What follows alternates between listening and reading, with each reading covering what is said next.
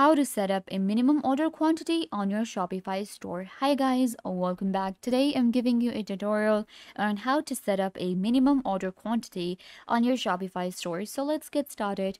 First, what you guys need to do is you will open up your Shopify store and you will get right here.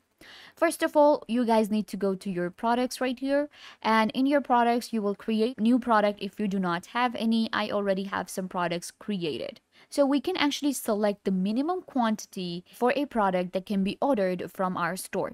For that, we will have to go to the inventory right here and it will show me all of the products that I have listed on my store.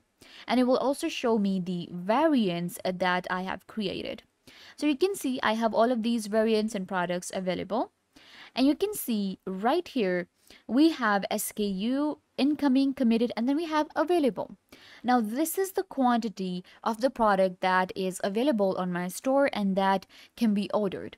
So what I can do is I can actually select the product. I have like 100 of these shirts. We have like three of these uh, zeros. So I'm just going to increase it to right here. So that will actually determine the quantity of my product on my store. So this is how you can select and adjust the quantities of the different products and the variants that are available.